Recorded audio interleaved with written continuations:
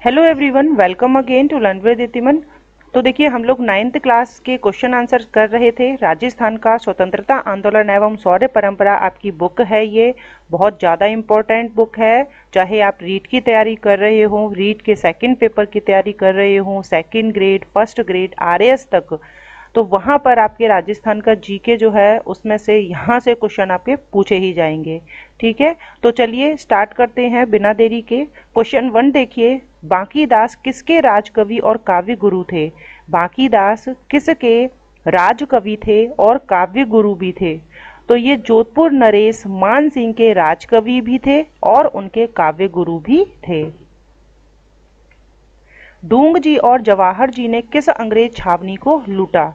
डूंग जी और जवाहर जी, जो कि अठारह के स्वतंत्रता संग्राम में बहुत बड़े देशभक्त रहे हैं और बहुत ही बढ़ चढ़कर जो है इन्होंने भाग लिया था तो ये किस अंग्रेज़ छावनी को लूटते हैं? तो ये नसीराबाद अंग्रेज़ छावनी को लूटते हैं। डूंग जी और जवाहर जी किस क्षेत्र के निवासी थे? किस क्षेत्र के निवासी थे? डूंग जी और जवाहर जी तो ये सीकर क्षेत्र के निवासी थे, ठीक है? डूंग जी जो है, शेखावटी ब्रिगेड में रिसलदार थे और ये दोनों जो हैं, चाचा भतीजे थे। नेक्स्ट देखें, अठारह की क्रांति की शुरुआत में किस कवि के दोहों में स्पष्ट होती है? यानी कि अठारह की जो क्रांति हुई तो उसका जो स्वागत है, किस कवि ने किया अपने दोहों में? तो यहाँ सूर्यमल मिश्रण या सूरजमल मिश्रण जिनको कहा जाता है तो उन्होंने अठारह की क्रांति का जो स्वागत है, वह अपने दोहों में किया। कौन से क्रांतिकारी काका भतीजे के नाम से प्रसिद्ध हुए तो हमने देखा सीकर के जो डूंग जी जवाहर जी थे, वो काका भतीजे के नाम से प्रसिद्ध हुए थे अठारह की क्रांति में। डूंग जी को अंग्रेज़ों ने किस दुर्ग में बंद किया था? डूंग जी को अंग्रेज़ों ने किस दुर्ग में बंद किया था? तो इनको आगरा के दुर्ग में बंद किया गया था। किसमें किया गया था बंद? आगरा के दुर्ग में इनको बंद किया गया था। डूंग जी का निधन कहाँ हुआ? डूंग जी का निधन जो है वह कहाँ हुआ? तो इनका निधन जो है वह जोधपुर के दुर्ग में हुआ था। कहाँ पर हुआ था? डूंग जी का निधन जो है, वह जोधपुर के दुर्ग में हुआ था। तो बहुत ज़्यादा इम्पोर्टेंट है, क्योंकि डूंग जी जो हैं, इनको आगरा के दुर्ग में बंद किया गया था, लेकिन इनका निधन कहाँ हुआ? जोधपुर के दुर्ग में हुआ था। राजस्थान का पहला स्वतंत्रता सेनानी कौन था, जिसे सर्वप्रथम फांसी हुई? राजस्थान का सबसे पहला स्वतंत्रता सेनानी जिसको सबसे पहले फांसी हुई थी तो वह थे अमरचंद बाटिया, और ये कहाँ के थे? बीकानेर के थे। नेक्स्ट देखिए क्वेश्चन नाइन अमरचंद बाटिया ने अपनी पूरी संपत्ति किसे देने का प्रस्ताव रखा था? अमरचंद बाटिया, जो कि बीकानेर के थे, और देश के जो पहला स्वतंत्रता संग्राम हुआ अठारह का तो यहाँ इन्हें सबसे पहले फांसी पर लटकाया गया था। इन्होंने जो है अपनी पूरी संपत्ति तात्या टोपे को देने का प्रस्ताव रखा था। विजय सिंह पथिक का मूल नाम क्या था? विजय सिंह पथिक का मूल नाम क्या था? बिजोलिया आंदोलन में सबसे अहम जो भूमिका है विजय सिंह पथिक की रही है। तो इनका जो मूल नाम था, भूप सिंह था। क्या नाम था? भूप सिंह। विजय सिंह पथिक ने किन संगठनों की स्थापना की थी? विजय सिंह पथिक ने किन संगठनों की स्थापना की थी? तो विजय सिंह पथिक ने वीर भारत सभा और राजस्थान सेवा संघ। इन संगठनों की स्थापना की थी। भारत के किसान आंदोलनों का जनक किसे कहा जाता है? भारत के किसान आंदोलन का जनक किसे कहा जाता है? तो विजय सिंह पथिक को कहा जाता है किसान आंदोलन का जनक। विजय सिंह पथिक द्वारा कौन से समाचार पत्र चलाए गए? विजय सिंह पथिक के द्वारा कौन से समाचार पत्र चलाए गए? तो इनके द्वारा राजस्थान केसरी नवीन राजस्थान और तरुण राजस्थान जैसे समाचार पत्र जो हैं चलाए गए और इनके माध्यम से राजस्थान में जन जागृति फैलाने का कार्य इन्होंने किया। लोठू निठारवाल का जन्म कहाँ हुआ था? लोठू निठारवाल का जन्म कहाँ हुआ था? तो इनका जन्म जाट परिवार में हुआ था सीकर ज़िले में 1804 ईस्वी में। लोठू जी निठारवाल का जन्म जो है सीकर ज़िले में हुआ था 1804 ईस्वी में, एक जाट परिवार में। अर्जुन लाल सेठी द्वारा किस संगठन की स्थापना की गई थी? अर्जुन लाल सेठी ये जयपुर के थे तो किस संगठन की स्थापना जो है वो की गई थी? तो जैन शिक्षा प्रचारक समिति जो है, इसकी स्थापना इन्होंने की, जो कि 1905 में की थी, ठीक है? जैन शिक्षा प्रचारक समिति के तत्वाधान में किन शिक्षण संस्थानों की स्थापना की गई? जैन शिक्षा प्रचारक समिति के तत्वाधान में किन शिक्षण संस्थानों की स्थापना की गई? तो इसमें वर्धमान विद्यालय, वर्धमान छात्रावास और वर्धमान पुस्तकालय ये चलाए गए थे, ठीक है? जहाँ पर क्रांतिकारियों को प्रशिक्षित किया जा सके। तो जिन्होंने चैप्टर नहीं पढ़ा है चैप्टर पढ़िए, उसके बाद आपको ये क्वेश्चन आंसर बहुत ज़्यादा आसान लगेंगे, ठीक है? इनको बार बार रिवाइज करिए, तभी आपको ये याद हो पाएँगे। किसने अर्जुन लाल सेठी को जयपुर का प्रधानमंत्री बनाने की पेशकश की थी? किसने अर्जुन लाल सेठी को जयपुर का प्रधानमंत्री बनाने की पेशकश की थी? तो जयपुर के नरेश माधव सिंह सेकंड ने, माधव सिंह द्वितीय ने इनको राज्य का प्रधानमंत्री बनाने की पेशकश की थी, ठीक है? और इस पर जो है अर्जुन लाल सेठी ने मना भी कर दिया था कि अर्जुन लाल सेठी यदि नौकरी करेगा तो इन अंग्रेज़ों को भारत से बाहर कौन निकालेगा? अर्जुन लाल सेठी की रचनाएँ कौन सी हैं? अर्जुन लाल सेठी की रचनाएँ जो हैं, वह कौन सी हैं? तो इनकी रचनाओं के नाम हैं शुद्र मुक्ति, स्त्री मुक्ति और महेंद्र कुमार। शूद्र मुक्ति स्त्री मुक्ति और महेंद्र कुमार। तो ये सभी पुस्तकें किसकी हैं? अर्जुन लाल सेठी की हैं। केसरी सिंह बारहट का जन्म कहाँ पर और किस वर्ष हुआ? केसरी सिंह बारहट का जन्म कहाँ पर और किस वर्ष हुआ? तो इनका जन्म जो है देवपुरा गाँव में शाहपुरा रियासत अठारह सौ बहत्तर ईस्वी में हुआ और इनकी मृत्यु 1941 में हुई थी। चेतावनी राचुंगटिया किसकी रचना थी? चेतावनी राचुंगटिया किसकी रचना थी? तो देखिए, यहाँ पर क्वेश्चन के जो है वो मैं बिल्कुल उसी का आंसर जो है वो बताती हूँ। उसका रीज़न क्या है कि आप लोग क्वेश्चन देखकर उसका आंसर ही याद करें। ऑप्शन आपके चार एग्ज़ाम में आपको मिलते हैं तो आप जो है इधर उधर ना भटकें और अपने जो है सटीक उत्तर पर आ जाएँ। तो इसीलिए यहाँ ऑप्शन जो है वो मेरे द्वारा नहीं दिए जाते हैं, क्योंकि आपको याद इसी तरीके से होंगे। अब एग्ज़ाम में क्वेश्चन कैसे आएगा कि चेतावनी राज चुंगटिया किसकी रचना थी? ऑप्शन में आ जाएगा अर्जुन लाल सेठी, विजय सिंह पथिक, ठीक है? केसरी सिंह बारहट, या फिर आपके आ जाएगा अमरचंद बाटिया। तो आपको उसका सही आंसर लगाना है। तो इनकी किसकी रचना थी ये? केसरी सिंह बारहट की रचना थी। क्वेश्चन ट्वेंटी वन देखिए, चेतावनी रचुंगटिया नामक तेरह सोरठे पढ़कर कौन सा शासक प्रभावित हुआ था? तो जो कि केसरी सिंह बारहट द्वारा लिखा गया था जिसमें उदयपुर के महाराणा जो फतेह सिंह हैं, इनको दिल्ली दरबार में शामिल होने से रोकने के लिए केसरी सिंह बारहट ने तेरह सोरठे जो हैं वो पढ़कर उनको सुनाए थे। और महाराणा फतेह सिंह जो हैं, उन्होंने जाने से फिर इनकार कर दिया था। ठीक है? केसरी सिंह बारहट ने किस संगठन की स्थापना की? केसरी सिंह बारहट ने किस संगठन की स्थापना की? तो इन्होंने वीर भारत सभा की स्थापना की, जो कि 1910 में की। वीर भारत सभा जो संगठन है, उसकी जो स्थापना है, वो किसने की? केसरी सिंह बारहट ने की 1910 में। नेक्स्ट देखें। केसरी सिंह बारहट के पुत्र का क्या नाम था? केसरी सिंह बारहट के पुत्र का क्या नाम था? तो इनके पुत्र का नाम था प्रताप सिंह बारहट, कुंवर प्रताप सिंह बारहट। प्रताप सिंह बारहट ने किसके सानिध्य में देश सेवा की शिक्षा प्राप्त की? प्रताप सिंह बारहट ने किसके सानिध्य में देश सेवा की शिक्षा प्राप्त की? तो इन्होंने मास्टर अमीर चंद के सानिध्य में देश सेवा की शिक्षा प्राप्त की।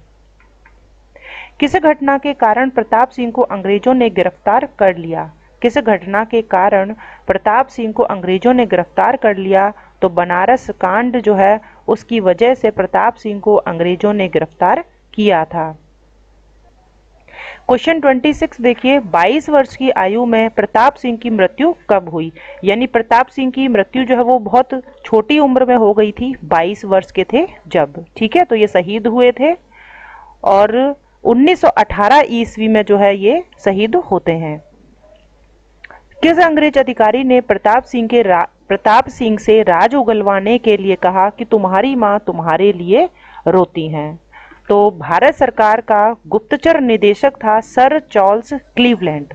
तो इसने जो है वो बहुत सारी घोर यातनाएँ जो है वो कारावास में इनको दी प्रताप सिंह को। और कहा कि अपने जो है साथियों का नाम बताएँ। लेकिन फिर भी जो है, ये अड़े रहे, इन्होंने अपने साथियों का नाम नहीं बताया। तो इस वजह से बरेली जेल में क्लीवलैंड जो है, उन्होंने इमोशनली ब्लैकमेल करने के लिए इनको ये कहा कि तुम्हारी माँ तुम्हारे लिए जो है, वो सदा रोती हैं। ठीक है? लेकिन फिर भी जो है, ये अपने जो है, बातों पर अड़े रहे और इन्होंने क्या जवाब दिया? कि मैं जो है वो सैकड़ों माताओं के रोने का कारण नहीं बन सकता। मेरी माँ को रोने दो। नागौर में चरखा संघ तथा खादी भंडार की स्थापना किसने की? नागौर में चरखा संघ तथा खादी भंडार की स्थापना किसने की? बाल मुकुंद बिस्सा ने नागौर में चरखा संघ और खादी भंडार की स्थापना की। किसने की? नागौर में चरखा संघ और खादी भंडार की स्थापना बाल मुकुंद बिस्सा ने। कालीबाई कहाँ की थी? कालीबाई कहाँ की थी? तो हमने कई बार जो है पिछले जो क्लासेस है, उसमें भी हमने देखा कि कालीबाई थी डूंगरपुर ज़िले की। रास्तापाल गाँव से ये संबंधित थी। ये एक भील जो है बालिका थी। डूंगरपुर के रास्तापाल में पाठशाला किसने खोली थी? डूंगरपुर के डूंगरपुर के रास्तापाल में पाठशाला किसने खोली थी? तो यहाँ के लोगों को शिक्षित करने के लिए नाना भाई खाट ने यहाँ पर पाठशाला खोली। रास्तापाल की पाठशाला में जो अध्यापक था वो कौन था? रास्तापाल की पाठशाला में अध्यापक कौन था? तो यहाँ सेंगा भाई, जो कि कौन थे? एक अध्यापक थे, टीचर थे। कालीबाई का निधन कब हुआ? कालीबाई, जो कि तेरह वर्ष की एक भील बालिका थी, और जिसने अपने जो मास्टर थे, उनके जो अध्यापक थे तो उनके लिए जो है वो आगे लड़ने को आ गई थी। ठीक है? तो इनका निधन हुआ था 20 जून उन्नीस को। कब हुआ था?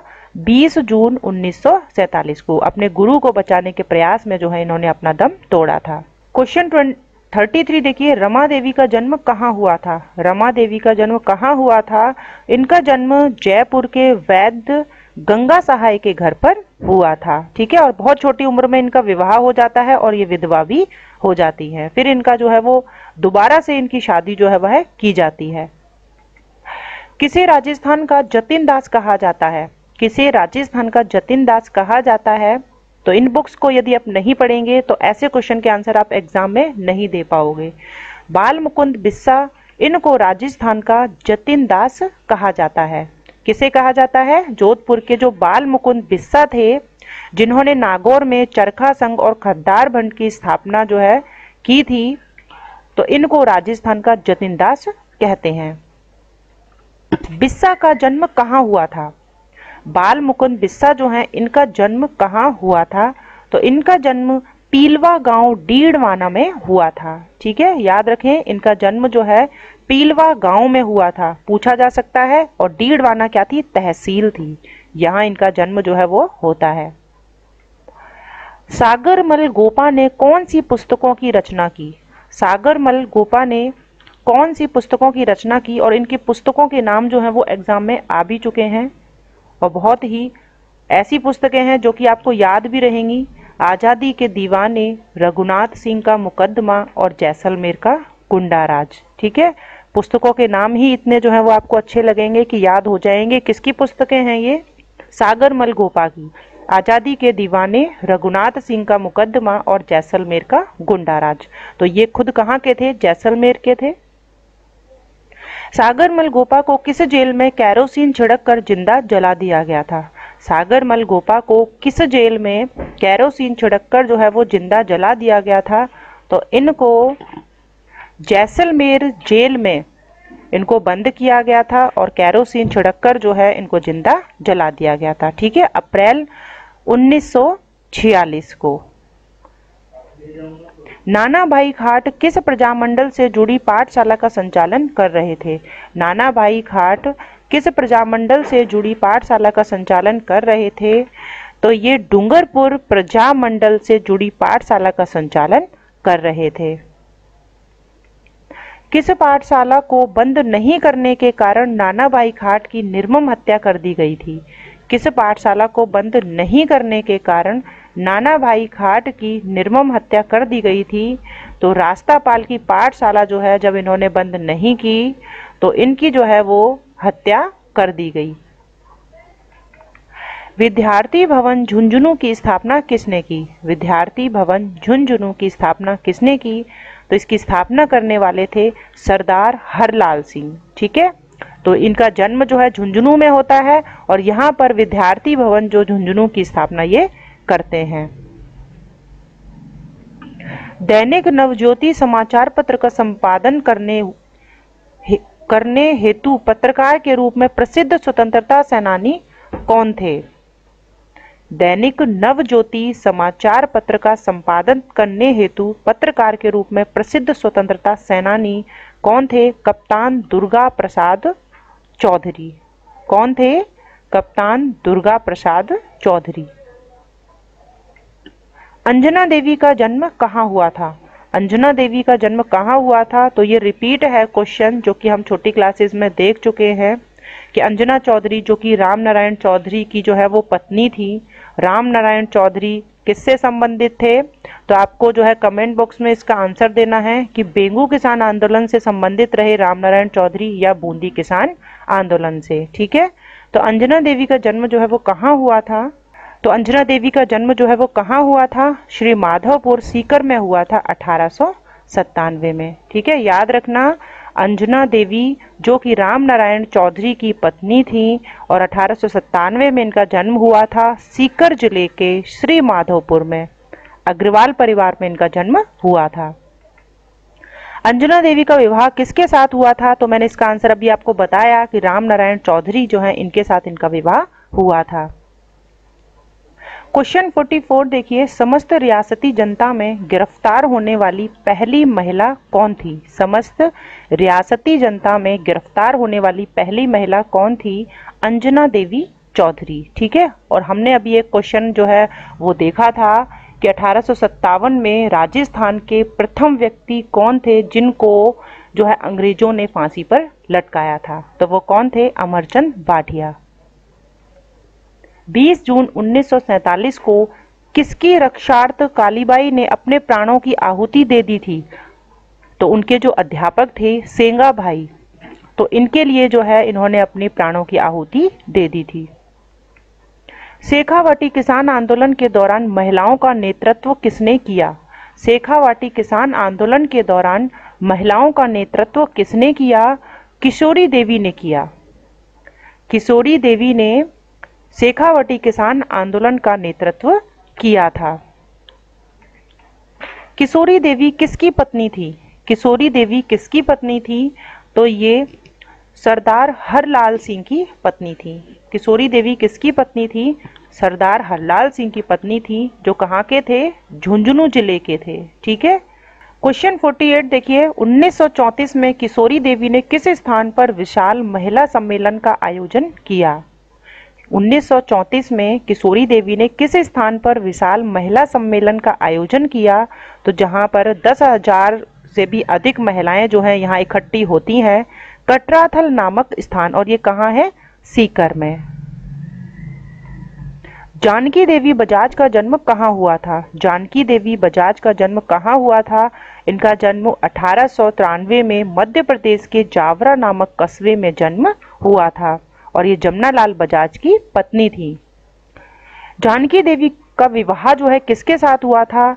तो आंसर मैंने अभी दिया आपको कि जानकी देवी का विवाह जो है जमुना लाल बजाज के साथ 1902 में हुआ था। ठीक है? ये मध्य प्रदेश की थी और जन्म इनका कहाँ हुआ था? मध्य प्रदेश के जावरा कस्बे में।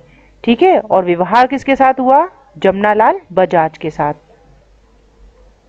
रतन शास्त्री के पति का क्या नाम था? रतन शास्त्री के पति का क्या नाम था?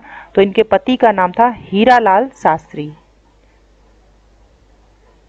रतन शास्त्री का जन्म कब और कहाँ हुआ था? रतन शास्त्री का जन्म कब और कहाँ हुआ था? तो इनका जन्म 15 अक्टूबर 1912 को खाच रोड, मध्य प्रदेश में हुआ था। रतन शास्त्री का जन्म जो है वो खाच रोड, मध्य प्रदेश में हुआ था। रघुनाथ जी व्यास के यहाँ पर। तो ये अंतिम क्वेश्चन था आपके इस चैप्टर का।